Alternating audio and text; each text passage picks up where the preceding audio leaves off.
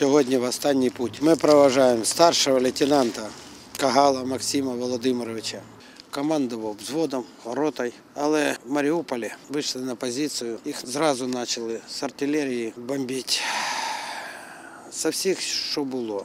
Потім налетіла авіація, скидували на них фугасні бомби, фосфорні бомби. Підійшли ворожі кораблі, ще й палубна артилерія з ракетами. Вижити буквально неможливо. І наш Максим загинув в Маріуполі, обороняє його.